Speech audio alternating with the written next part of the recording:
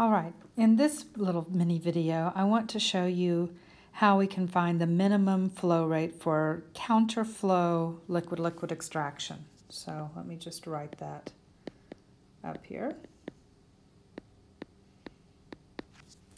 So in this case, I've got a flow rate of 1,000 kilograms per hour that's 35% acetone in water, and the solvent is going to be 100% chloroform. What I want to know in this case is what will be the minimum flow rate for the solvent that will produce a product that's no more than 10% acetone. So to get started, we will plot the given information. So my feed is 35% acetone, so 35% acetone. There is my feed. The solvent will be 100% chloroform, and I want my raffinate to be 10% acetone so that will be on this equilibrium curve where acetone is 10%. So this is going to be the highest quantity of acetone allowed in the product. All right, so in this case, I do not know what the mixture composition is going to be because I don't know what the mixture flow rate is going to be. So I'm going to begin by drawing my FS line because, hey, that's easy.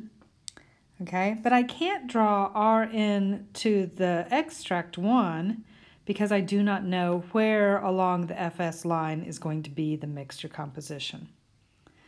But what I can do is I can figure out what's going to be the highest slope for the FE1 line that will not shoot me out into the single phase region. So up here is single phase, everything down here is two phase, and I want to make sure that I stay within the two phase region.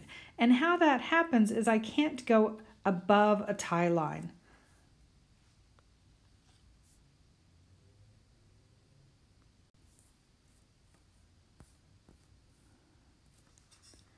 So from F, let's mark out a tie line.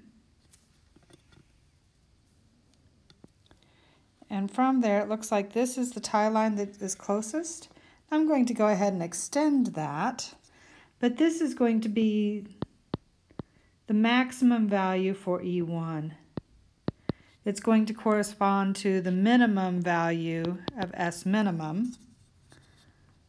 And this will put the delta, if I connect Rn and S, this will be my delta minimum.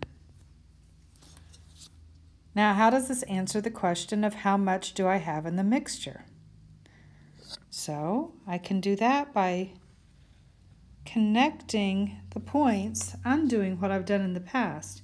This point here is now my mixture.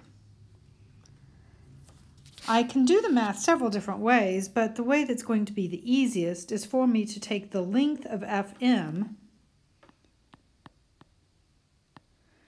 which is going to correspond to the flow rate of S, and compare it to the length of ms,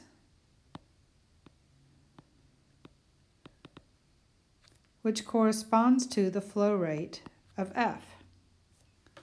So S minimum is going to be the flow rate 1,000 kilograms per hour times F M's length over Ms's length. Now when I do this measurement, I'm on an iPad screen, so it's going to probably be very different than what you're measuring. Uh, but I get 1. 5 centimeters for FM.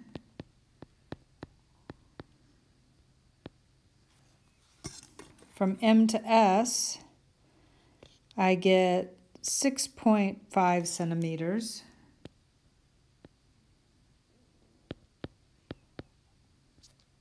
Multiply that times 1,000 kilograms per hour. And if we do that multiplication,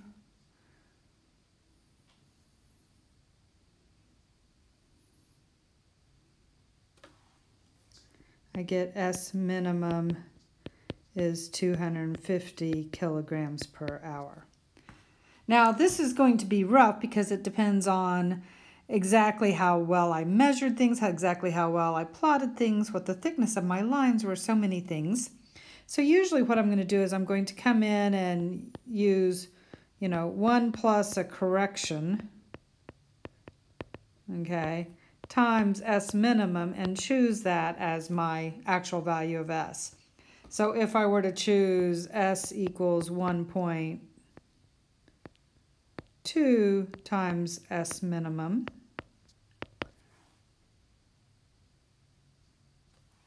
then I would choose 300 kilograms per hour as the flow rate that I would want.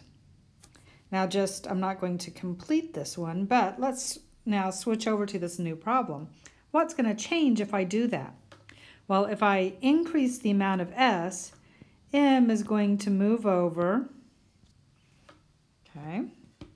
If M moves over, that's going to move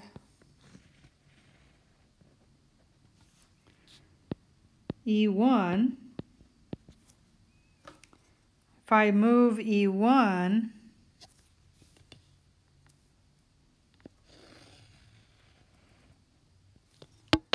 that's going to change the location of the delta.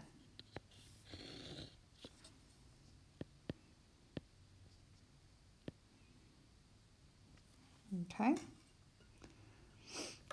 So that concludes this little mini video. To count off the steps, you would do exactly the same thing as we had done in the previous video once you know your actual solvent flow rate.